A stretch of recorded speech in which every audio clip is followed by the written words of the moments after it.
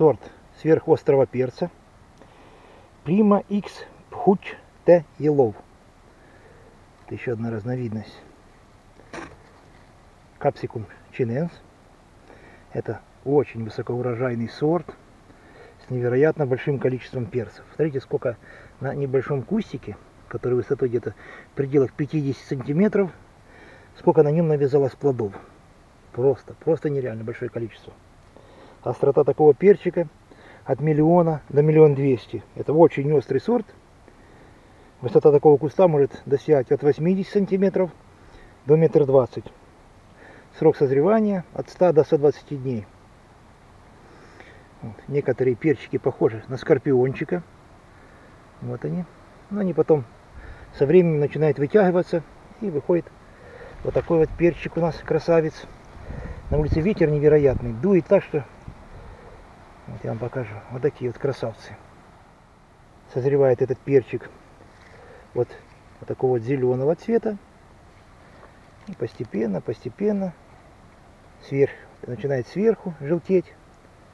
И вот доходит до такого вот желтого цвета. Очень высокоурожайный, с очень большим количеством. Вот я его подрезал, верхушку срезал ему. Вот видно срезы. Так, кустик был где-то около метра в высоту. И вот такое вот, смотрите, количество плодов.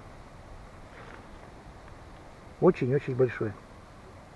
Очень хороший сорт, можно выращивать как в домашних условиях, на подоконнике. Кустик будет небольшой, но урожай у него будет хоть на подоконнике, хоть в открытом грунте очень-очень высокий. Также точно в теплице. В теплице он может достигать до полутора метра в высоту. Так что советую вам выращивать его как на подоконнике, так в теплице или в, откры... в открытом грунте. Такой вот перчик с морщинистой плотью. Такая кожица у него вся сморщенная. Вкус у этого перчика пряно-фруктовый, мягкий, не очень насыщенный. Давайте взвесим, посмотрим, сколько он у нас весит. Ну, тогда перчинка 7 грамм.